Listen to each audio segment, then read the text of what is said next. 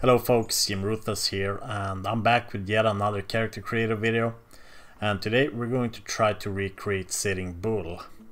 And Sitting Bull was one of the most famous people back in the Old West.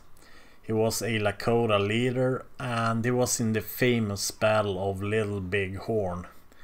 And later on he also worked as a performer in Buffalo Bill's Wild West show. And today we're going to try to recreate him. So Let's do this.